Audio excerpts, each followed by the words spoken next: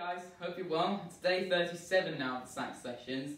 Captain Tom Moore made it to number one in the UK charts with this song after his NHS fundraising heroics, and it's also very well known among you football fans around the world, particularly those who support Liverpool.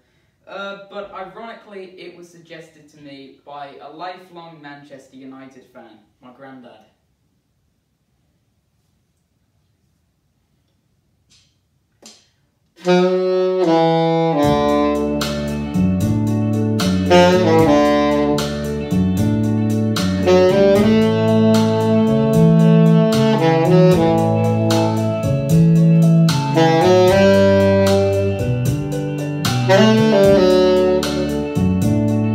Thank